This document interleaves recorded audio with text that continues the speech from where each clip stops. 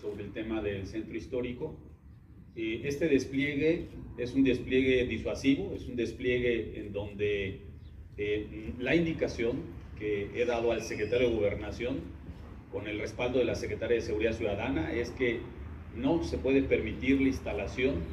de este comercio ambulante, como tú ya lo definiste muy bien,